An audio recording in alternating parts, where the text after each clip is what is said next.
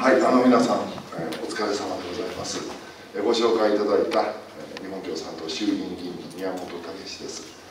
あの議員団ではですね、えー、総務部会長というものを、えーえー、なんていうか仰せ使っておりまして、総務委員会という委員会を担当しておりますが、一応あの総務委員会での論戦の、えー、国会の議員団の中での責任者をやっております。したがって今日は議題になりますこのマイナンバーですよね。だから私ども重大な関心を持って追っかけてきたわけですけれども今日の新聞上がった日刊紙マイナカード普及へ総務省が圧力をかける方針とこれはもうすでにマイナカードの普及の率に応じて地方交付税交付金の配分に差をつけるということをあの総務大臣があの発表してですねこれについてあの自治労連などからも厳しい批判の声明が出ております。あのどういう発言なのかということを私も調べてみましたけれども19日に金子総務大臣がですねあのマイナンバーカードの普及率に応じて来年度から国が配れる地方公税の算定に差をつけようということを、まあ、口走ったと。で記者がなんでそういうことを言うのかと決めたのかと質問を21日の大臣会見で食い下がりましてその説明はですねマイナンバーカードの普及に差が出てきてると。それで進んだところは行政が非常にスムーズに進むようになると。だからそういう事態を受けて交付税の算定に差をつけることに差をつけることを検討していくことにしたいとこう述べたんですね。これはですねマイナンバーカードのという、まあ、そもそものこれから皆さんからね学習もし議論していただくこれ自身が重大な問題があるというだけにとどまらずですね地方交付税交付金というものをそもそもこの総務大臣は分かってないわけです。基準財政需要と基準財政収入との差額を保証するものであるにもかかわらずですね。まあまあいわばですよ進んでるなら大方は進んでるんですからかえって金はかからんはずであって遅れてるところへ業産金出すからあのやってもらいたいっていうのは分かるけど進んだところにご褒美のように渡して遅れたところは罰のように少なくするというのは地方交付税交付金もまるで国の金で、ね、ご褒美のように配る金だと、まあ、理解してるっていう全くの不理解になっていや本当に委員会が開かれたらその辺りをとくと議論してみたいもんだと思いながらの閉会中ですので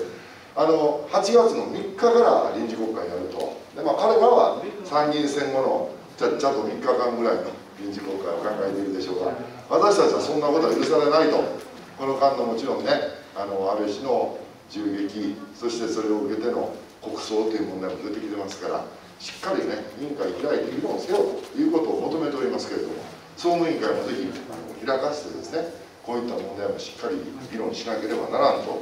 いうふうに思っています。5月ぐらいからもう彼らはどんどんこの普及率というものを発表し始めまして私の手元に来るんですよ市町村別の。順みたいなやつが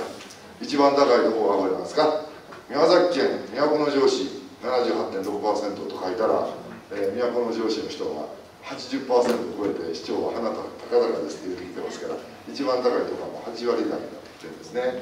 えー、県でいうでも宮崎県が57%というようなことでこういうばらつきが出てきててあのこういうものを示して遅れたら交付税で損するぞというふうに追い立てていくというのが非常に卑怯ですからね。しっかり皆さんと監視をして、ね、皆さんのプライバシー守れるようにね頑張り抜いていきたい。それから医療機関には大変な負担になりますからこれについてももちろんしっかりと議論していきたいと思っております。ありがとうございました。山本さんありがとうございました。急にフルスてすみません、えー、それではですね、えーと、この挨拶を、えーと、と号令に、えーマイナンバーカード、えー、取得強制策の、えー、撤回阻止へ7.20院内集会、えー、開催したいと思います、えー、司会進行、えーと、先ほど意見陳述しておりましたあのマイナンバー意見訴訟、えー、神奈川の、えー、原告団事務局でもあり神奈川県保険協会事務局を務めております知念が担当させていただきます。よろしくお願いいたします。はいありがとうございます、えー、今回ですねえっ、ー、とまあえっ、ー、と、えー、裏次長というか、えーと、話をさせていただきましたと、まあ、かなり私が強引にこの企画を進めたっていうのがありましてあのやはり、えーと、マイナンバーカードのあごめんなさい、えーと、保険証の原則廃止っていう問題とオンライン資格確認の、えーと、原則義務化っていう問題はこれはやっぱり、えーと、イコールというかあのもう言ってしまえばもう直接関連する問題であってオンライン資格確認の原則義務化っていうのはこれはあくまで医療機関の問題だっていうふうに思われるかもしれないですけれどもその先に保険証の原則廃止っていうものにつながっていく。で保険証の原則廃止っていうのは我々市民国民の患者さんの問題にもなってくる。いうことでやはりここっていうのはつながりがあって医療界は医療界だけで運動をやっててはいけないし市民団体は市民団体、えーと、市民連合だけで、え運動をやってはいけないと。やはり、えー、一連卓上じゃないですけれども、えー、一連で医療界と市民国民がやはり共闘戦線を張って、えーと、一点共闘で運動を進めていかなければなかなか今のこの岸田政権のですねマイナンバーカード普及の強引策っていうものに関しては歯止めが、えー、止められることは難しいだろうということでであれば、まああのマイナンバー違憲訴訟、えーと、本日、えーと、第6回期日があったということそれと,、えーと、たまたま今日、えー、と私の方の意見陳述をさせていただくっていうこともあったのでだったら、えーとまあ、私医療団体の事務局でもありますからあのどうしても医療界と,、えー、と市民の、えー、と方々と,、えー、と橋渡しをする役割を担ってえーと、スタートアップ集会ということで、えーと、という位置づけでですね今日の、えーと集会をどうしても開催したいということで非常に短い時間ではあったんですけども方々に声をかけさせていただきまして、えーとね、いろんなところでご協力あのご参加、えー、いただきましたし、えー、国会議員の先生方もお忙しい中、えーと、先ほどの、えーと、福島議員、えーと、宮本議員、えー、駆けつけていただきました。あのー共産党の国会議員団もう少し、えーと、何名か来ていただけるというようなお話も、えー、ありました後ほどまた、えーと、ご挨拶を、えーと、お願いしたいかと思います本日の院内集会、えー、違憲訴訟神奈川マイナンバー違憲訴訟神奈川と神奈川保険協会の共共催ということで、えー、進めるということで、まあ、冒頭挨拶をせよということなんですがほとんど知念さんが挨拶してしまったので 私は別に挨拶するほどのことではないんですがあのやっぱマイナンバーカードの問題ちょっと考えるにあたって番号法においてはあくまで申請によるということでマイナンバーカードの取得っていうのは法的に言うと任意である。この原則というものは法を変えない限りは変わらないんですね。ですからマイナンバーカードの取得を強制するということは法的にできない。現行法ではできない。どういう状況になったらじゃあそれができるか。そこで出てきたのがこの保険証の問題とそして2025年には運転免許証にも使えるようにするというのはもう今回の、えー、通常国会で法律が通ってしまっていますから保険証と運転免許証というのは今8000万枚台が配布されてます。現在マイナンバーカード5000万枚台ですね。45%5000 万枚台が配布されている。つまりそこから3000から4000万枚増えないとほとんど保険証運転免許証と同じ枚数にはならないわけです。つまり30004000万枚のまだマイナンバーカードを持ってない人にもそれを強制するにはマイナンバーカードそのものの枚数が増えていかないとそれをみんなに強制的に持たせるということは基本的にできない。だから政府が気になってるのは地方交付税であったり1兆8000億円ですよ。今回の2万円ポイント。この付与をするために使ってる税金というのは1兆8000億円をかけてマイナポイントというものを配ってる。わけですよね。これは本当マスコミでも1兆8000億円っていうのはあんまり言われないんですけどもひどい税金の無駄遣いですよね。本来だったらそんなことをしないでみんなも持ちたいと思えば自然に増えていく。これが増えないから金でもって釣るっていうような政策を、まあ、現在取ってるわけ。でで結局ある程度8000万枚9000万枚までもしマイナンバーカードの取得数が増えていけばその時に番号法を改正する。そこまでいけばほぼ強制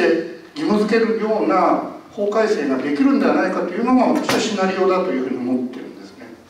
である種のその強制性っていうものを法的に持たせないと今日いらっしゃってる皆さんはいかに保険証としてマイナンバーカード使うって言ったら絶対嫌だよと。そういう人には保険証発行しなきゃいけないんですよ。保険証をなくすってことは物理的にはマイナンバーカードは強制されない限りはできないんですよね。ですから私たちが何をしなきゃいけないかといえば周りのみんなにまだ45%だから持つ必要ないよと。このパーセンテージをやはり増やさせない。この1年ですよ。この1年どうやって増やさせない。周りにもまだ持たなくてまだって持たなくていいよと。いうようなことをやっぱり伝えていって増やさせない。そうすると実績に強制するっていうことはやっぱ難しいんですよね。やっぱ写真撮って申請しなきゃいけないですから嫌だって言った言った人にどうやって強制していくのかっていう問題も残りますのでやはり私たちはこれ以上マイナンバーカードを普及率を増やさせない普及率を増やさせないそういう取り組みをぜひやっていきたいと。特に今日は保険証の問題として議論をしていただきたいというふうに思います。どうも皆さんこんにちは。日本共産党参議院議員の伊藤学でございます。まずあの選挙後ということですのでさまざまな形で、えご協力や応援をいただいたと思います。ありがとうございました。えー、どういう話を宮本さんが？は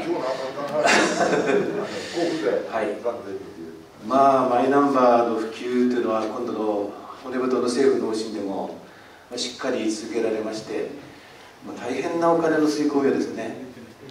私あの埼玉選手なんで、えー、西武ライオンズの大ファンなんですがあの松坂大輔まで使って 使いやがってという感じですが 大変なあの騒ぎになっていると思います。で実はあの私あの選挙前の最後の国会で、えー、マイナンバーの問題、えー、参議院の総務委員会で、えー、取り上げました。で特にあの埼玉の保険医保険医協会の皆さんからもお声をいただいて、えー、オンライン資格確認システムの問題を中心に、えー、取り上げたんですけれどもうん、まあ、その当時で、えー、今、えー、オンライン資格確認システムの、えー、準備が整ったという施設が21.8%。運用開始を始めたという施設が15.5%という回答でしたがそもそも申請している施設が57%しかないんですよね。どう考えても100%結構ないんです。でこれの目標を政府がもういろんなキャンペーンやりながらも思うように状況になってない。で目標を再検討する必要があるんじゃないかというふうに求めましたけれども、まあ、一切その様子は伺えませんでした。それであのえー、この質問の中でいくつか認めたのは厚労省が言ってる、えー、オンライン資格確認システムの一番の理由として挙げてるのはいわゆる診療報酬の返礼の問題ですね。であのご断念の方からお聞きしたらこの返礼の問題っていうけれどもあの返礼件数っていうのは全レセプト件数のわずか0.27%です本当わずかなものですかね。という話も紹介しさらに、えー、レセプトのオンライン請求などで資格確認できるんじゃないかということも言いました。でそれをあのこうあの厚労省も認めました。であのであのそういうことを認めながら、えー、結局、あのこれをさらにご了承するという点については一旦立ち止まってねやっぱりしっかりあのこの時点で調査をやらなきゃいけないんじゃないかということを強く求めたところです。でまあいろいろあのやり取りしながら私思ったんですけどお、まあ、マイナンバーカードの活用っていうのは医療現場では一番ミスマッチだなということを思いましたね。でこれであの秋以降また保険証と紐付けなどの議論も進んでいくんだと思いますけれども、まあ、あの衆議院の宮本武さんと参議院の私総務委員会ですので、えー、皆さんの声をしっかりですねえー、委員会でもぶつけながら、あのこのミスマッチの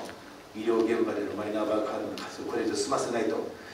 でマイナンバーのカードの取得ってのはあくまで任意なんだから任意にふさしく、えー、政府が対応するように、えー、しっかりと求めていきたいというふうに思っております、えー、どうか力を合わせて頑張ってございませんか？ありがとうございます。えー、令和新選組の衆議院議員をしております大石明子と申します、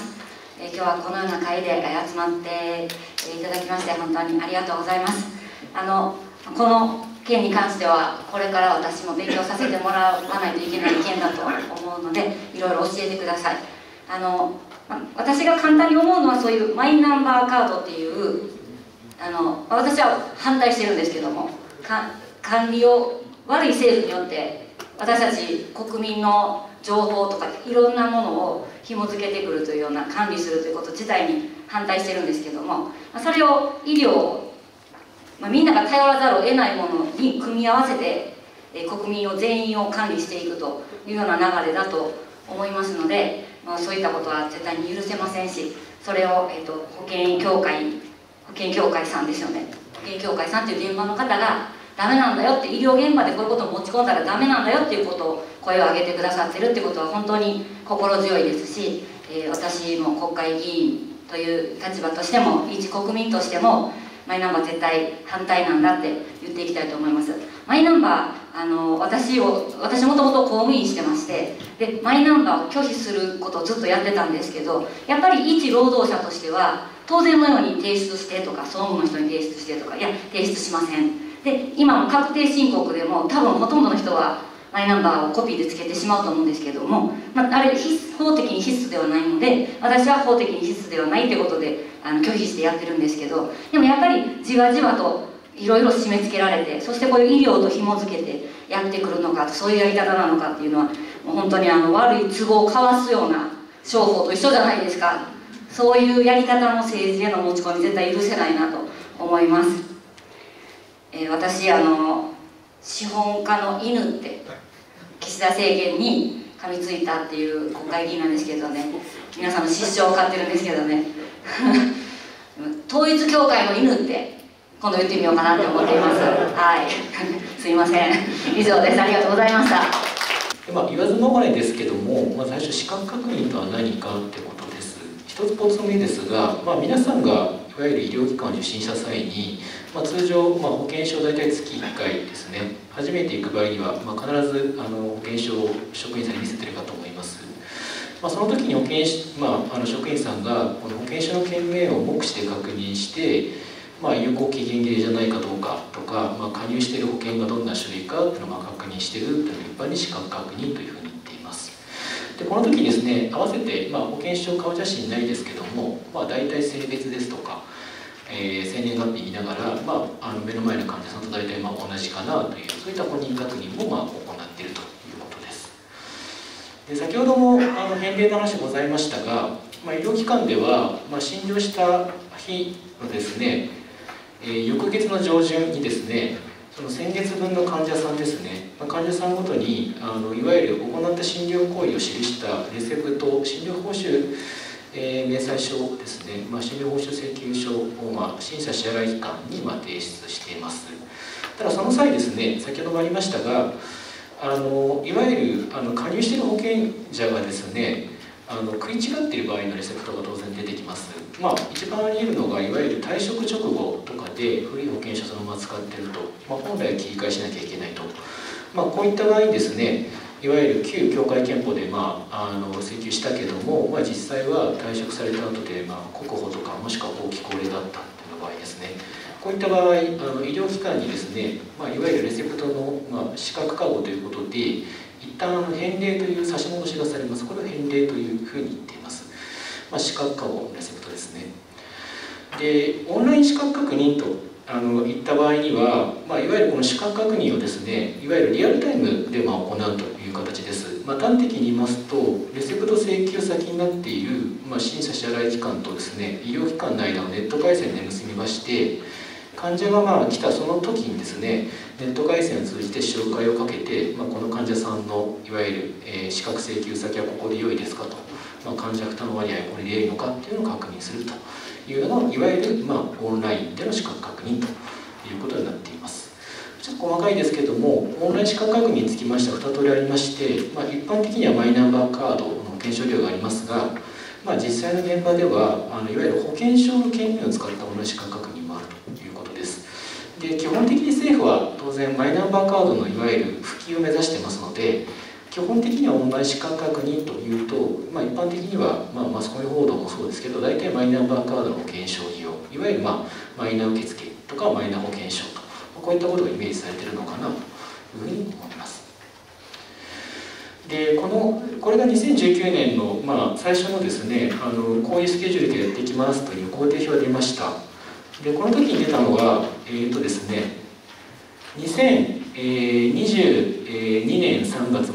もう過ぎましたけどこの段階ではすでにほぼ大体多くの方がマイナンバーカードを持っていて、まあ、対応する形でほぼ9割の医療機関ではこのいわゆるマイナ受付のシステム導入されているという前提がありました。最終的には来年の3月末ですね全ての方がカードを持って全ての医療機関がシステム導入されていることを目指すというふうにあの言っていました。ただそうはですのでこれ目指すですのであくまでその義務ではなくてあの医療機関っていうのに自由ですね。システム導入するかどうか。で当然導入しなくてもいわゆる罰則ペナルティはないということです。まあもちろんマイナンバーカードの取得も自由ということです。ただ実際はまどうだったのかということでこちらの骨太の方針が出るあのちょっと前の5月下旬ですが実際のところで言いますと、まあ、ここの3番目になりますがあのいわゆるオンライン疾患確認、まあ、いわゆるマイナ受付を始めた医療機関というのは大体2割に満たってないと、まあ、いう状況になっているというのが現状です。つまりですねあの23年3月あ22年の、えー、3月末段階で9割目標なんですが実際はその5月になった段階でも2割ということで、まあ、全然達してないと。こういった状況があるということです。まあ、理由としましてやはりコロナの対応があってですねやっぱ手が回らないというですかことですとかこのシステム利回りにいろいろやっぱですねあの複雑なものがあってですねやっぱり手かけられないということがそこで出てきたのがですねあのいわゆる強行策に出てたというのが、まあ、今回の予想となっています。骨太の方針2022年が示されまして、まあ、その中で一言で言いますと来年の4月以降からオンライン資格確認ができるシステム体制この導入を義務化すると、まあ、原則義務化するということが出ました。でさらにですねこのオンライン資格確認の導入状況を踏まえて、まあ、将来的には保険証は原則廃止していくと。いった方針が示されました。この保険証の原則廃止は、まあ、政府の中ではいろいろ言われていましたがオフィシャルに出たのはおそらく今回が初めてではないのかなと思います。これは閣議決定されたということです。正式に見ますとこの4点ございまして1点目オンライン資格確認について医療機関などに来年4月から導入を原則義務付ける。これいわゆるシステム導入のあのことかなと思います。でこの2番目システム導入が進むようにですねいわゆる関連する支援との措置を見直すと言っています。まあ、一つで言いますといわゆる今マイナンバーカードの受付を医療機関でしますと診療報酬がついてますので、まあ、患者さんの負担がちょっと上がります。でこれがやっぱり良くないのではないかって声が国会審議出てますので、まあ、端的に言いますとこれを凍結廃止するとか縮小するとか、まあ、そういったことなどがおそらく念頭にあるんだろうというふうに思います。で3点目。24年度中をめどに、まあ、まずは保険者による保険者発行の選択肢の導入を目指すと。いけるとこからは保険証発行しなくていいよと。いわゆるマイナンバーカードに切り替えていってもいいよということです。でこういったことを通じまして、まあ、将来的には保険証は原則廃止を目指す。ということです。あの先ほどの知念さんもこの子もございましたが、まあ、原則廃止ですので今は保険証は原則交付ですがこのを逆転させると。いわゆるまあ原則はマイナンバーカードで実施すると、まあ、いうことかと思います。ただあのマイナンバーカード自体はあの取得が任意ということがありますので、まあ、申し訳程度にですね加入者から申請があれば保険証を交付すると一応この2行は打っていると、まあ、こういった立て付けになっているかと思います。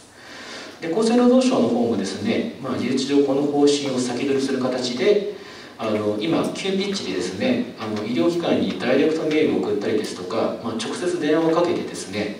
まあ、来年4月からシステム導入義務化されましたよ知っていますかと、まあ、知らないのであればまずはポータルサイトに登録してくださいと、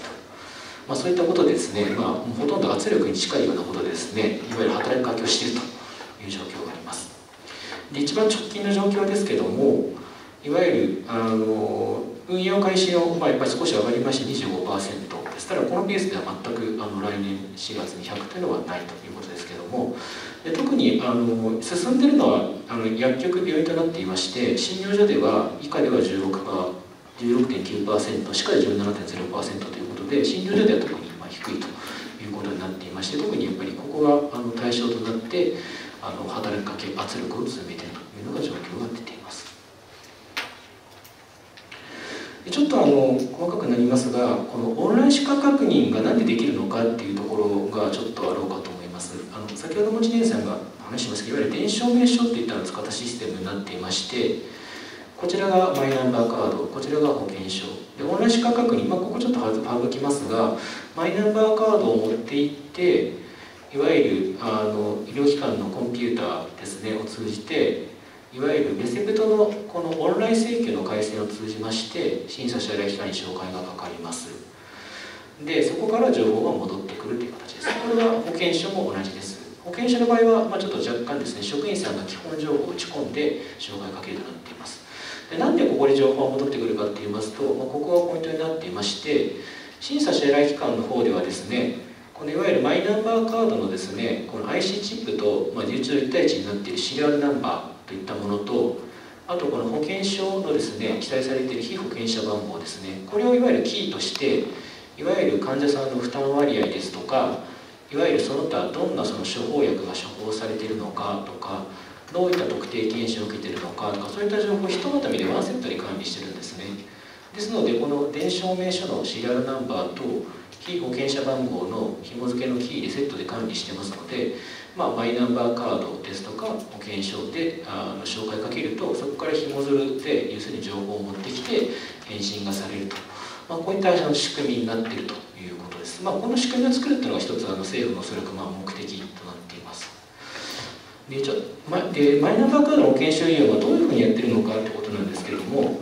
ポイントになっていますのはこれはあの職員さんがあのいわゆるマイナンバーカードを見るそういった話ではなくてですねいわゆる患者さんが自らですね医療機関の受付にセットされたリーダーを操作すると、まあ、そういったあの手順となっています。顔認証付きカードリーダーとまあ言っていまして、まあ、審査支払機関からほぼ無料で一応まあ提供されるんですけどもまずマイナンバーカードをそのリーダーに置きます。読み込まれますので、まあ、それと合わせてあの顔認証付きのカメラありますのでそこにまあ合わせて顔写真を撮って本人確認すると。で読み込まれてる最中にですねこの医療機関を通って障害かかって戻ってくると、まあ、そういった状況になっています。で合わせましてただこのどんなあの医療機関でどういう処方薬を受けているのかとか特定健診といったものこれをですね今受診して医療機関に見せていいかいけないかっていうのは当然個人情報保護に関わりますので患者さんが見せてもいいかいけないかっていうこういったのをタッチパネルで操作します。イエスかノーかということですね。でそういったのが終わると、まあ、基本的にはこの資格確認がですね医療機関の方で終わってるというシステムです。で、まあ、プラスアルファとしましてあの高額療養費のです、ね、所得区分の情報もですねあの返信を受けられますので、まあ、いわゆるこれまでに申請しなくてもこういったサービスもあります。こういったのを受けたいか受けたくないかというのがあります。で保険証を使った場合ですが保険証を使った場合は従来通りの目視と似ていましてあの職員さんが、まあ、保険証を預かりまして受付にあるですねいわゆる専用端末から、まあ、保険証に書かれています、まあ、いわゆる番号ですとか生年月日、まあ、この最低限の情報を打ち込んで審査者来機関に紹介をかけると先方からま情報が戻ってくるということです。ポイントとなっていますのは一つはあの保険証の場合にはですねいわゆるマイナンバーカードで使えた医療情報の閲覧ですとかいわゆるそういった高額、えー、医療情報の閲覧とかそういったものは利用できないという形になっているという、まあ、そういったちょっと差別化が図られているということです。まあ、ちょっとこれかなりまとめということであの少し違いをまとめさせていただきました。上が目視下がオンラインでポイントになってますのはちょっと先ほど申し上げましたがオンライン資格確認はこのマイナンバーカードを使った場合と保険証を使った場合があるんですけどもあくまでマイナンバーカードを使った場合を中心に想定しています。一つはやはりあの医療情報の閲覧ができるかどうかとかいわゆる高額療養費の情報ですね。いわゆる患者さんのまあ同意、まあ、そのタッチパネル操作に通じてその受け取れるかどうかとかいわゆる顔認証付きカメラで本人確認するかどうかそういったことも含めて一応基本的にはオンライン資格にする場合には前の受付をするよう方向にまあ誘導してるっていうのが一つポイントです。実際にですねあの補助金も出てるんですけどもあくまでこのマイナンバーカードの保険証利用の体制を整備した場合のみ保険補助金が出るという立て付けになっていますので政府は基本はあのオンライン資格にというとマイナ受付を念頭に置いているというのがポイントです。で今どういう状況なのかということでこれ直近の状況ですがちょっとこれ分かりづらいんですけどこれが全体がオンライン資格確認です。で一言で言いますとここのちっちゃいところがマイナンバーカードです。でマイナンバーカードはほとんど使われてないというのが現状です。つまりオンライン資格確認は全て保険証で行っているという状況です、えっと、1つ目ですがまずあのマイナンバーカードの交付枚数が6000枚にいってませんがそのうちあの保険証に使う場合はですね最初に登録っていうのがあるんですけどもこの保険証登録した方はそのうち5人に1人しか過ぎないということですまあ患者さんからしますと別にあのマイナンバーカードを保険証として特に使おうとは思ってないという、まあ、状況がお分かりかと思いますで2点目ですがえーと、実施されている回数ですね、オンライン歯科確認は、まあ、大体全体でざっくり言いますと、診療件数のまあ1割ぐらいかなというのが出てきます。で、この2億件のですね、うち、マイナンバーカードを使っているのが100万件に満たないということですので、99.5%以上は、実は保険証を使ったオンライン歯科確認しているというのがポイントになっています。ちょっとすいませんで具体的にマイナンバーカードのヒートはどれぐらいかということですが5月分で見ますと、計算すると大体以下診療所で月3.1人歯科では2.8人ですので、まあ、10日間仕事したあ、まあ、大体1週間に1人ちょっといるかいないかっていうのが状況ですねほとんどあのこれは皆さんあの再生整備された先生からも聞かれます。言い換えますとほぼ全てが保険証を使ったオンライン歯科確認しているということです。まあ、いくつか機能がありますがおそらくまあ保険証券面ですね。あの健康保険健康保険とか協会憲法の場合は有効期限書いてませんのでいいですがあの国保ですとか後期高齢者の場合は1年単位で切れますので、まあ、見た感じ有効期限切れてた場合にですね、まあ、おそらくちょっと念のためにあの確認しようかなとかそういうところおそらくやってるんだろうなと思ってます。つまり医療現場はですね、まあ、必要と判断した際に応じて必要に応じて行っているという状況です。4つ目です。で先ほど申し上げましたマイナンバーカードで受付した場合にですね患者さんがその受診した医療機関にいわゆる処方薬の情報ですね単位の処方薬ですとか特定健診の情報を教えてもいいかいけないかっていうところですが同意してる方が実はそんなに多くないというのがあります。検診は1割弱です。利薬剤がま4割です。ちょっと上がってきてますが半数以上の方はやっぱ同意してないっていうのが一つあります。あの患者さんにとっては慎重な患者さんが多いということで8でオンライン資格確認まあやっぱり導入にかかる懸念点というのをちょっと見ていきたいと思っていますが一つはやはりですね今のその保険証の目視による確認におきまして、まあ、特段の大きなその不都合とか、まあ、不守備がないというのはやっぱ一番大前提かと思っています。公的医療券制度の、まあえー、健全な運営をですね行っていく上で別に保険証のですねあの目視によっていわゆる成り済まし自身が横行しているとかそういったことは一切報告されていません、まあ、データも出てないということで、まあ、特段問題がないというのが一番これがやっぱり一番大きいかなと思います。ですのでそのオンライン資格確認についてはあの医療機関におけるメリットデメリットやっぱ慎重にまず判断してもらうことが大切かなと思っています。でまず医療機関におけるじゃあメリットデメリットは何なのかということですけども、まあ、一つこれデメリットですがやはりですねこれ導入した場合特にあのマイナンバーカードの受診と保険証受診が混在しますのであのいわゆるフローが2つになりますのでやっぱスタッフさんの多忙になるだろうと思います。あの患者さんが顔リーダー操作すると言ってますがもうすでに各協会のアンケートでもですねいきなりマイナンバーカードをされて資格確認してほしいとかさらにはですね保険証したのでマイナンバーカードしか持ってませんとかもうすでに声が出てます。でもこうなると非常に面倒くさいですね。なのでこういったことがありますしあとやっぱ実際ですねあの CR 機器顔顔リーダーの機器でやっぱね操作に不慣れな方いらっしゃいますので当然やっぱ手助けは必要なんだと特にですねこの顔認証とかなかなかうまくいかない場合ですね結局ですね職員さんがですね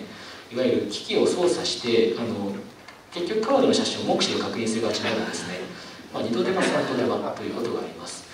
で2つ目これもよく指摘されますがやっぱりですね日常的にマイナンバーカードを持ち込まれますので当然紛失盗難情報漏洩リスク高まります。やっぱこれは大きいだろうなと思います。あの院内でマイナンバーカードを拾った場合当然あのそれ相当のやっぱり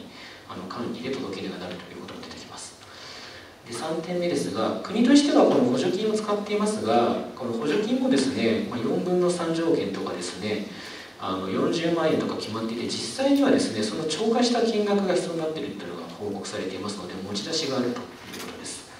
また補助金はあくまでイニシャルコストですのでその後にかかるランニングコストですね。いわゆるその接続料ですとか保守点検料とかそういった当然システムセキュリティ対策などそういったものがやっぱり発生する当然医療機関が持つという形です。また当然使ってますと壊れた場合とかもやっぱすぐですね復旧しないといけないというふうに運用上規定されてますので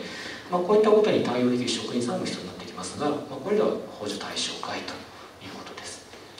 で4点目ですがあの先ほど伊藤学先生もありましたがいわゆるその資格過去のレセプト返礼が減るというま言ってるんですけども実際ですね実はこのレセプトをですねこのネット回線で請求されている医療機関に関してはあのすでにこのサービス始まってるんですね。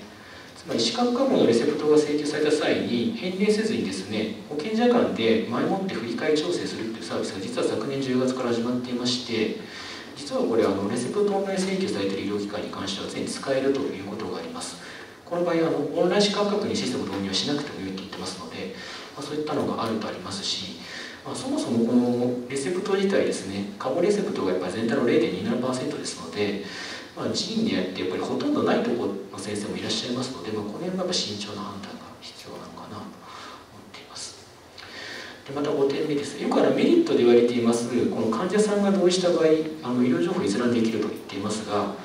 見れる情報というのがあの今現在ですとレセプトの情報ですので患者さんの受診から最長で1月半遅れます。でまたあの診療現場から見ますとやっぱり全ての患者さんで必ずしもこれ必須なのかなっていうところも当然あろうかなと思っていますし今後国としましてはこの見れる情報をですねあの処方箋いわゆるリアルタイムのものを広げていくとは言っていますが結局これ情報を広げたとこでもですねやっぱり医療現場では結局やっぱ直近の処方状況なども含めてやっぱりそのさまざまなその服薬状況の遵守ですとか、まあ、飲み合わせ副作用もはじめやっぱり実際使ってどうなのかってことはやっぱ本人に確認している状況に変わりないですので結局その情報を見れたからそれで終わりっていうわけではないんだと。まあ、そういった意味で言いますと、まあ、どこまで有用でいるのかなというのがちょっとやっぱり疑問というのがあります。6点目ですがあのこのレセプトのですねオンラインあ失礼しました。オンライン資格学に行うにはですねあのちょっと紛らわしいんですけどもこの診療報酬請求明細書これはあのネット回線で請求していることが限定な前提なんですけどもこの請求開始が整備されている医療機関実はですねあの診療所以下ですと7割。で歯科ではです至っては25%とどまって歯科では8割がまだ未整備なんですね。でこれオンライン歯科確認する場合はですねこの回線の整備が前提になるんですけどもこれ普通に考えてもですね来年3月末までにじゃあ歯科で7割5分の医療機関がこれ整備できるのかってあんまりにも非現実的ではないかなというふうに思っています。ですので、まあ、そういった意味から考えても来年3月というのはちょっと導入はちょっとありえないのかなというふうに思っていますちょっとここから追加としていますがあの医療情報の閲覧あのするとですねやっぱりお話聞いてますとないよりはあった方がいい、まあ、ないよりはあった方が便利ってこうよく聞くんですけどもちょっとまあ冷静に考えてみますとすでにですね今お薬手帳が7割が普及しています。で高齢者の方はもうほぼ大半の方が持っています。であと医療現場では特にやっぱ入院するような場合とかに関しては診療情報提供書も日常的にやり取りしてますしそれをですね。電子送信する場合のシステムもありますので、まあ、そういったことを考えますとこのいわゆる受診してこの医療情報の閲覧ですね。患者さんが同意して見れるものっていうのが本当に効果的なケースっていうのは結構限られるんじゃないかなと思っています。例えばまあ人事不詳の患者ですね。とか救急対応とかですね、まあ、こういった場合ですね、まあ、アレルギーのあるかないかとかいわゆるあの血液をサラサラにし薬飲んでるか飲んでないかとか、まあ、そういったことにかなり限定されるんじゃないかなと思ってますので、まあ、入れ物を作っても実際すごく使えるっていうものよりはやっぱり限定されてるっていうかここの費用対効果も、まあ、慎重に見ていった方がいいのかなと思っています。ですので2点目ですがまあ、こういったですねマイナンバーカードの保険証を使った場合にその医療情報の閲覧ができる、まあ、システムこれは全国的に作っていこうということなんですけども、まあ、これをですね今その政権進めるよりもですねやはりあの今大きく問題となっていますやっぱりランサムウェア対策とかですよね医療機関のセキュリティ対策の強化ですとかやっぱり地域で頑張っている医療情報連携ネットワークへの支援とか、まあ、そういったですねやっぱりその優先課題としてそのやっぱちょっと整理をした方がいいのじゃないかなというふうにはあの思っています。これまとめますとやっぱりこのデジタル化の加速ですとか、まあ、こういった大義名分のもとで、まあ、こういったシステム進んでいますがこの医療情報をですねこの集積管理して利用するこのオンライン資格確認システムの構築ですねこの審査社内機関にですねこれについてはやっぱり一旦立ち止まってやっぱりその慎重に精査検討することが今やっぱり一番急務あの求められていることではないのかなというふうに思います。患者さんにとってのメリットはどうかということですけれども、まあ、1点目あの言わずもがなだと思いますけどやっぱほとんどこれ別に患者さんが求めてるものではないんだろうなと思います。別にあの患者さん国民からマイナンバーカード保険証用として使ってほしいという声私は全く聞いたこともないですし本当これ上から目線で進められてますので、まあ、全然患者国民ニーズはないと思っていますしこれ関連しますが医療情報閲覧後ですねやっぱり必ずしも多くの患者さんがどうしなきゃいけないってやっぱ状況やっぱりちょっと冷静に見た方がいいと思ってますし思ってます。で3点目ですが今後ですねこれあの処方箋ですとかいわゆる電子カルテに書かれている情報ですねいわゆる検査結果値とかですねあとレセプトですとあの傷病名とかも含めてあのどういう手術をしたかも含めて全部開示していくって方向で議論が進められていますがここはかなりやっぱ慎重に考えた方がいいんじゃないかなと思っています。このうっかり患者さんが同意してあの単位で行っているその診療医療行為をですねあのほぼほぼこの寺院で亡くなってる医師の先生が見てこれこれこういうことを行ってるんですねって言われても患者さんが単位で違う説明を受けてるってことは十分あります。つまり病名1個取ってもそのステージとか用とか天気も含めて話してる場合がある場合とない場合があるので会いに行ってしまうとですねやっぱりその医療機関と患者の間の信頼関係がやっぱり崩れかねないという大きな問題をはらんでますのでここはですねあの医療情報の閲覧自体私は否定をするものではないですが相当慎重に考えていかないとですねやっぱり大きな混乱を招くのかなと思っています。で保険証の廃止の問題ですがあのやっぱりこれ無理筋っていうか、まあ、乱暴で無理筋かなと思っています。先ほど宮崎さんもおっしゃってましたがちょっとそもそもありえない話かなと思っています。いくつか書かせていただきましたがやっぱりそもそもですねその患者さんがですねマイナンバーカードの保険証を望んでない中で、まあ、さらに保険証廃するっていうのはやっぱり一体どこから出てきた議論なのかなというのが思っています。で2つ目ですが、まあ、当然あのマイナンバーカードで受診になれば常時利用する形になりますので紛失リスクは格段に高まります。で紛失すれば当然それをキーとして個人情報が一気に増していくと。3点目ですがいわゆる保険証の原則廃止いわゆるマイナカードの汎用となれば問題となるのはですねいわゆるその停電やシステム停止ですね。故障時に資格確認支障をきたしかねないという問題はこれ結構大きいかなと思っています。あのこの間 au ドコモの通信障害をはじめ相当に問題出てますのでここはやっぱりきちっとあの考えなきゃいけない問題と思ってますが国はやっぱりこういったのを一切考えずにデジタル化しているというのは極めて危険かと思っています。ですので少なくとも保険証は原則交付してマイナカード要は自由する価値が、まあ、リスクヘッジとしては必要ではないのかなというふうに思っています。マイナンバーカードのみに限るというのは一番やってはいけないことではないのかなというふうに思います。4点目です。でマイナーカードの取得は任意と言いますがあの当然先ほど福島瑞穂先生もあのおっしゃってましたがやっぱり当然マイナンバーカードで原則受診するとなれば当然マイナンバーカード取得をするよねと圧力を強めるのは当然だろうなというふうにあの思います。まあ、すでに今でも公務員の方はあの圧力強められていますけれどもこれがやっぱりですねあの保険証は原則なくなったんだと。だからマイナンバーカード受診するのは当然なんだということで大手振ってやっぱり圧力がかけられていくという問題があろうかと思います。で5点目ですね。やっぱり医療団体としてやっぱり思いますのはやっぱり命と健康に関わるですね今医療人にとってマイナカードを、ね、取得を強制するようなことはやっぱ断じて許されないい、まあ、これはやっぱり大きいことかなと思います。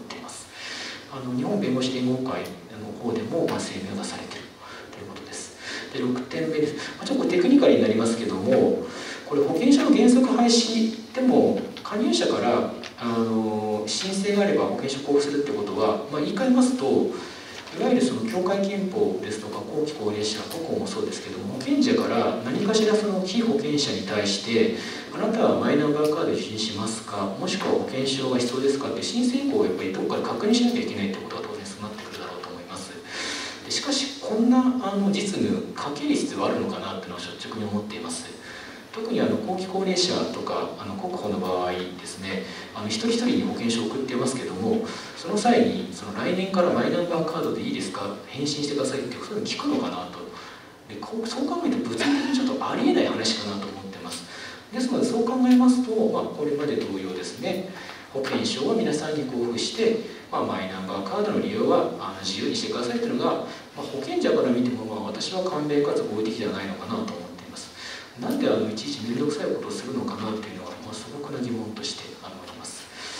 まあ、保険証の原則廃止はですね、まあ、あのお金や対応でも普及しないマイナンバーカードの保険証利用につきまして、まあ、あの法令で強制して済めればよいという、まあ、極めてまあ雑というかですね乱暴で無理筋な施策ではないかなと思っております。短時間とは言いますけどもあのここにいらっしゃる皆さんの釈迦に説法かと思いますけども、まあ、なんであのそこまでしてこのマイナンバーカードの保険証に進めたいのかなという点で、まあ、いくつかちょっと最後にさせていただければと思います。これまでもありますが当然あのオンライン資格確認のシステム導入義務化しまして保険証の原則廃止となれば、まあ、ほぼ国民の全てがマイナンバーカードを利用する形になろうかと思います。で並行しまして政府では、まあ、あの直近ですとあのデジタル重点化計画に書かれていますがこのマイナンバーカードの保険証だけではなくて、まあ、各種資格証明書類全般をですねマイナンバーカードに一体化するといった計画を立てています、まあ、医療で言いますと薬手帳いわゆる生活保護の医療券調剤券介護保険の被保険者証母子健康手帳があります。その他ですね公共サービスでいうと公共交通サービス図書館カードこういったものが入ってきてて、まあ、こういったものを全て一体化してマイナンバーカードで代替できますよといったことをま考えているということかと考えています。もう一つのポイントになりますのは今回ははっきりしましたが保険証の廃止と同様におそらくあの一体化する中で既存の権利は当然廃止して、まあ、あの出口を塞いでいくんだろうなと、まあ、いわゆるマイナンバーカードでないと使えなくさせると、まあ、マイナンバーカードをですねいわゆる国内版のパスポートというんですかね唯一の身分証明書としていくと。やっぱ最終的にはこういったこともちょっと考えながら進めてるんだろうなというふうに思います。で実際ですね、あのこのマイナンバー行政に関して結構あの国の意向ですね先取りして前橋市ですね前橋市ですではあのいわゆる交通弱者の方のタクシー運賃補助っていうのをやってるんですけどもこの既存の県名を廃止してマイナンバーカードでないとダメっていう感じに今年からあのしていますので、まあ、今後こういった自治体がやっぱり出てくるこういうことになりますと非常にやっぱ問題が多いのかなと思います。あのマイナンバーカードを持たないと生活が極めて不便になると、まあ、事実上行政サービス公共サービスを使えなくさせていくと、まあ、そういった追い込んでいくと。いうことかなと思います。まあ、その最初の取っかかりとしまして、まあ、一番普及枚数、利用枚数が多いマイナンバーカードと運転免許証がやっぱりあのターゲットに挙げられて、まあ、ご了承されようとしているんではないのかなというのが一つのポイントかなと思います。もう一つですね、あのちょっと先ほど言いましたこのオンライン資格確認システム、まあ、ここになりますけども、まあ、審査支払い機関にですね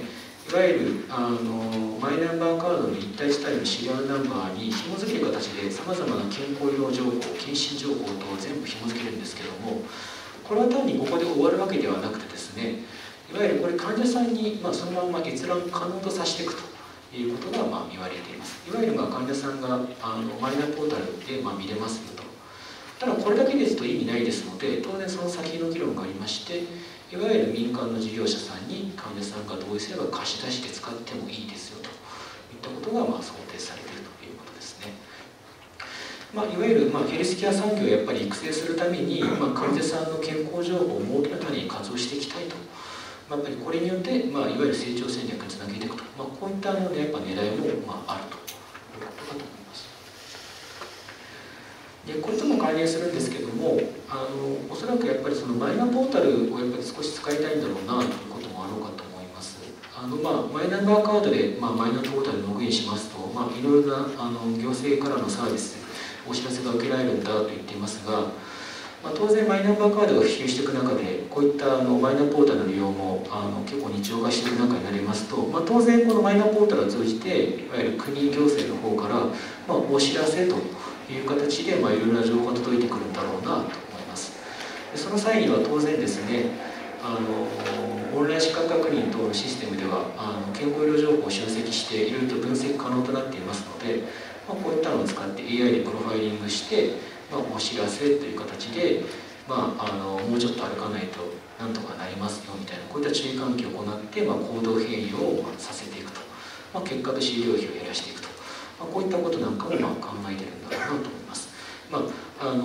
この国はですねいわゆるその雇用の悪化の問題ですとか、まあ、公衆衛生の脆弱化とか、まあ、そういったことは一切も不問視してもうただ単にあの健康は自己責任だと、まあ、こういったことをやっぱりあの刷り込んでいくために、まあ、使いたいと。まあ、こういったこともあるのかなというふうに思われます。でまあ、4点目ですがあの、まあ、最後これよく言われていますけどもやっぱり最終的な狙いとしてはやっぱりあの今の公的医療券制度を、ま、含めた社会保障のやっぱり変えたいといったのがやっぱり中長期的最終的な狙いとしては常にあるんだろうなと思います。こちらのマイナンバー法に関わりますがやっぱりそのマイナンバー法のですね利用範囲をまあ拡大していきますと、まあ、当然個人のレベルでその医療や介護いわゆる税金年金、まあ、保険料もそうですけども、まあ、誰がどれぐらい負担して誰がどれぐらい使ってるかっていうのが個人レベルで全て分かるようになりますので個人レベルでの記憶と負担のかかる情報が把握可能となっていきます、まあ、これを活用しますといわゆる個人で払った保険料の負担内で医療社会保障給付を使うように抑え込むそういったシステム、まあ、制度も作るっていうことも可能となってくると。いうことなんだろうと思います。これは小泉政権で言われていたいわゆる社会保障個人会計と言ってることです。あの今公に言ってませんがやはり一番最終的な狙いとしてはこういったことがやっぱりあるんだろうなと思っています。さすがにただこれは言えないですので今おそらく一番最初に考えていますのがまずはあの高齢者の方の銀行口座にマイナンバーを紐付けると。でそれをもとにしまして入院した場合にかかっている入院時の食事代部屋代これについては全額患者負担としてはどうか、まあ、おそらくこんなこと今おそらく考えてるのではないのかなと思ま、あ、これにつきまして当面はまずは銀行口座の紐付けを増やすという形で、まあ、進めていくというのが今国の審議会の中ではあの、まあ、はっきりとは言わないんですけどこういったことを、まあ、資料に合わせながら進めているというのがあります。最後になりますけどもやはりもう一つ大きなところが巨大利権かなというふうに思います。あのやっぱりですね、まあ、この間報道されてますけどもマイナポイントの CM だけで電通に50億円が流れているとなっていますがこのマイナンバー制度がやっぱりその機能しようがしまいがやっぱりですねこのデジタル庁を通じて患者国民のやっぱり血税ですねこれがですね巨大な IT 産業にどんどん流れていくってやっぱこれは一つ大きい問題なんだろうと思います。でお金が流れていけば当然財政逼迫しますので裏返しとして当然医療社会保障費の抑制というのもさらに進められると、まあ、こういったことが危惧されるのかなと思います。最後となりますがあの、まあ、以上踏まえましてあのやっぱりこのマイナンバーカードの保険証利用ですね。については特にやっぱりですね患者国民も望んでいませんし医療機関にとっては事務負担増の懸念が多いということですのでやっぱりですねあのこのマイナ受付事業にですね多額の税金をつぎ込む、まあ、あの無駄遣いは中止すべきだと。まあ、ひっくりましてオンライン資格確認導入については、まあ、義務化ではなくやっぱりあくまでこれまで同様に自由にとどめるべきではないかなというふうに思います。でまあ点目ですが保険証発行の選択制保険証配信しましてもあの医療機関におけるあのシステム導入がですね完備されてない限りはこれ一切進みませんのでまずはやっぱり来年3月の末までのですねシステム導入義務化の撤廃に向けて全力を挙げて、まあ、取り組んでいくことが大切じゃないかと思っています。そのためにあの保団連ではですねこの、まあ、7月下旬以降ですね、まあ、運動の強化を図って進めていくといったことを確認いたしますのであのぜひ皆様方とですね、まあ、あの共同連携して運動を進めていければいいのかなというふうに思っておりますあの長くなりましたがご清聴ありがとうございますえーと、オンライン資格確認の原則義務化、それから保険証の原則廃止の問題につい問題点については、あの保団連全国保険団体連合会の松山さんから所長の説明ありました。ですから私としては、えー、開業保険員の立場から開業している保険員の団体である全国保険員団体連合会、全国の保険員協会保険委員会、の基本姿勢といいますかこの問題に対する考え方をお伝えしていきます。また今後の運動について現時点で進めているもの検討しているものなどいろいろと調整している段階ではありますが皆さんにお説明していきたいと思っています。まずですね、えー、その前にこの国のデジタル政策がこれほどスピーディーかつドラスティックに進められていくと自分が何を問題視して何を訴えているのかわけが分からずなっていると思います。で、えー、少し復習の意味を含めて、えー、基本認識みたいなものを整理し合わせて私たち開業保険医の考えというのもお伝えしたいと思っています。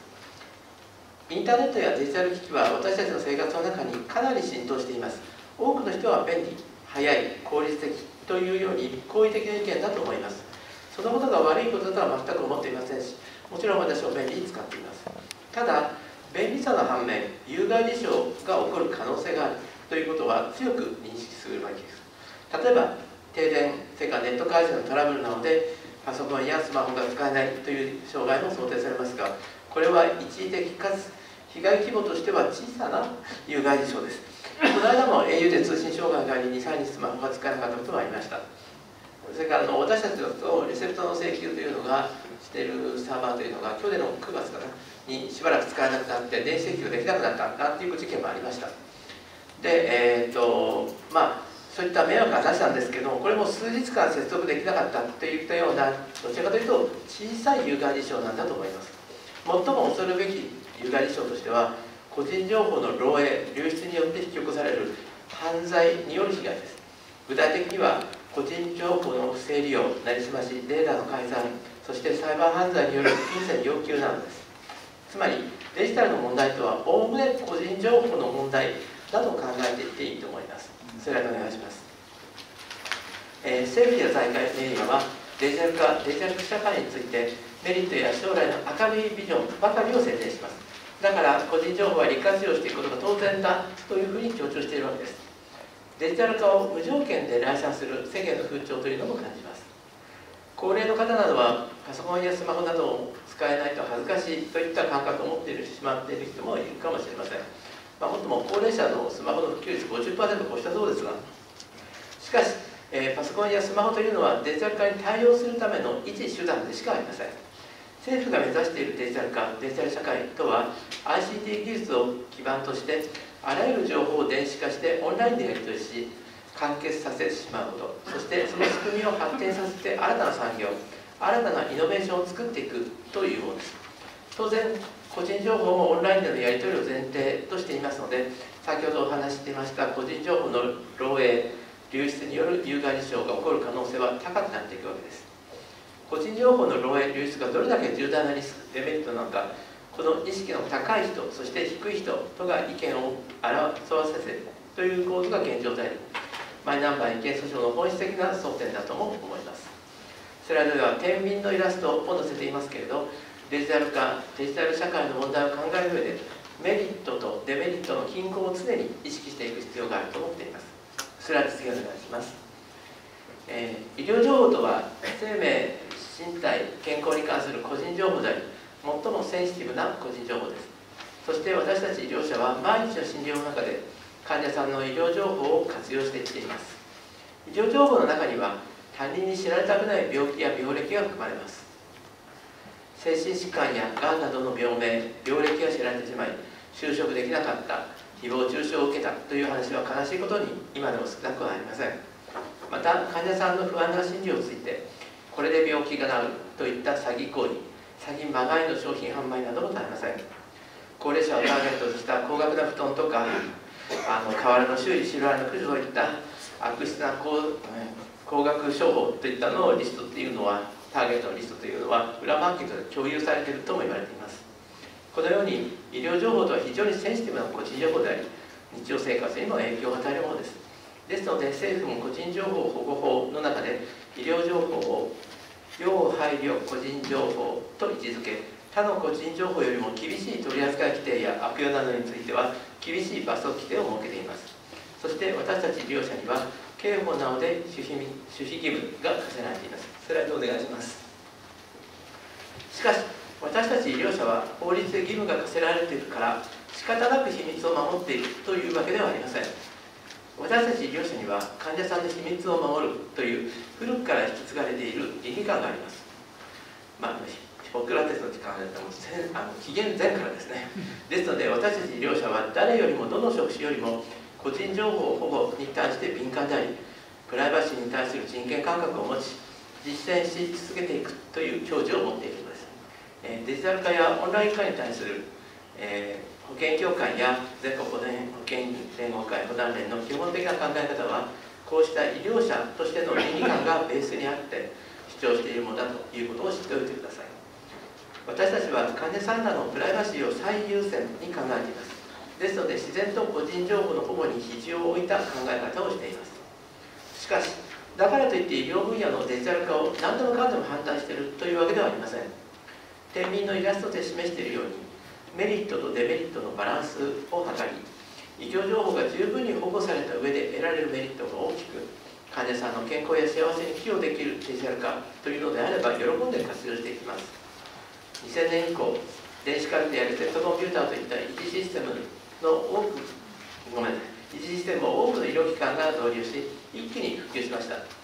これらは患者さんの医療情報の漏洩リスクが限りなく低く得られる利便性が非常に高かったからです。しかし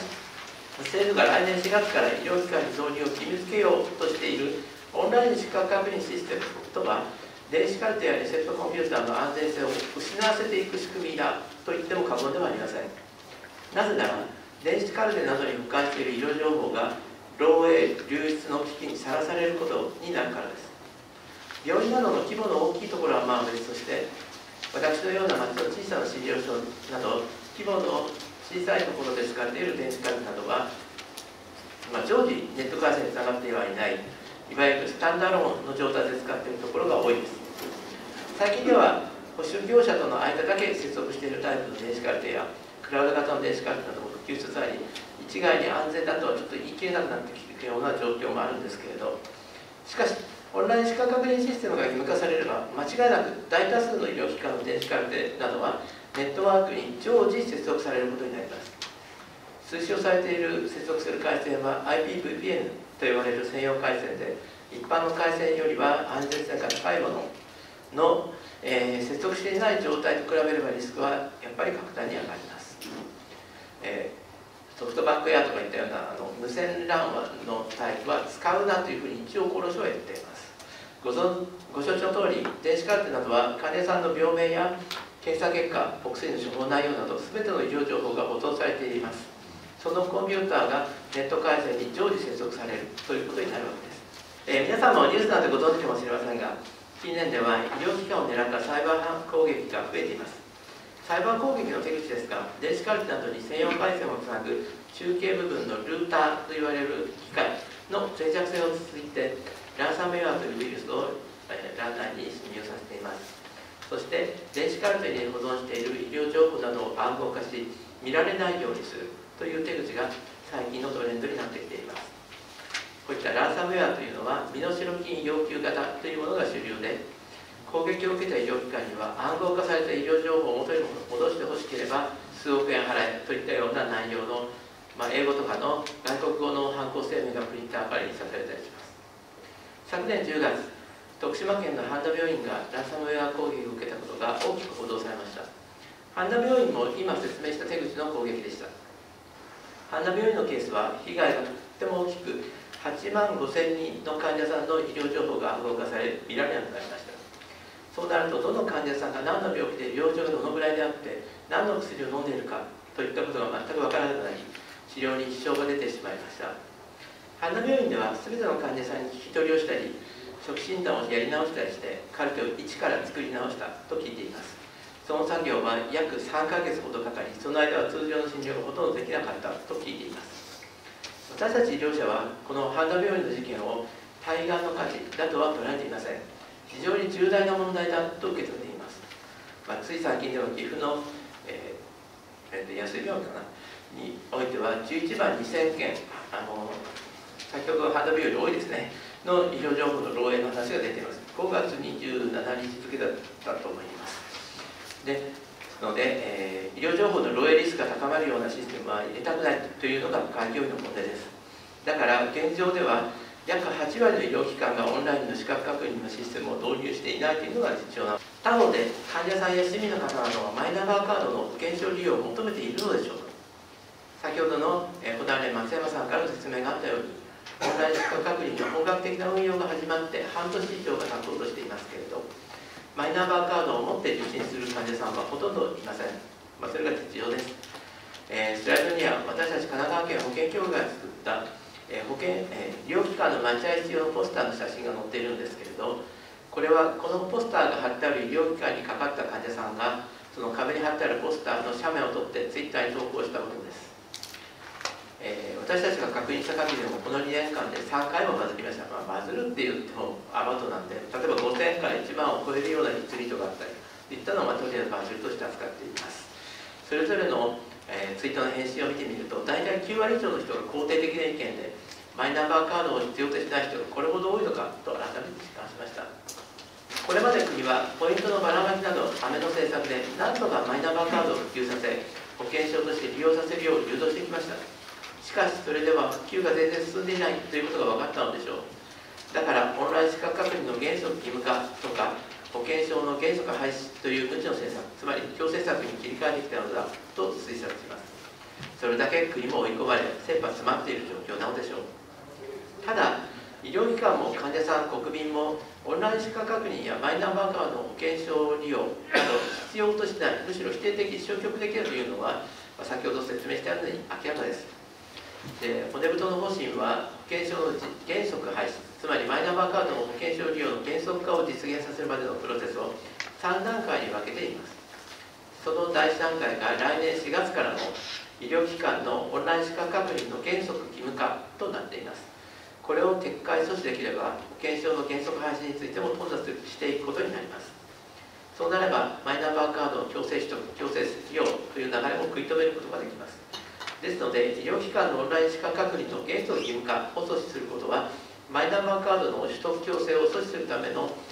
重要な1ステップであり、えー、医療機関だけではなく患者さん国民の皆さんにとっても重要なんだということを知っていただきたいと思います、まあ、だからこそ今日この集会開いてるんですけれど、えー、最後に当面の運動についてなんですけれど要求指摘項目は明確で主にここに挙げた2つあ中で書いてあるとですね。になります。この要求のもとに私たち保団連や保険協会をはじめとする医療者とマイナンバー制度やマイナンバーカードに否定的な市民との一点共闘の関係を築きスピード感を持って運動を広げていきたいと考えております。私たち保団連保険協会でも、え会員署名などの準備を進めているところですけれども患者住民署名などといった皆さんと共闘できる運動を進めていきたいというふうに考えています。この後のディスカッションでぜひご意見ご要望などをいただきたいと思っています。また市民団体との共闘もぜひ進めたいと考えています。今日は会場に西ベルンそれから自由放送団など人権擁護活動に日々取り組まれている弁護士の先生方もいらっしゃっています。約10年前レセプトオンライン請求の義務化撤回運動の時には、え、日弁連と保険協会で共同のシンポジウムを複数回開催したこともありました。今回もぜひ一緒に取り組んでいきたいと熱望しています。ったでありますが私からのお話は以上となります。保険証の原則廃止マイナンバーカードの強制を阻止するためにも共に頑張りましょう。ありがとうございました。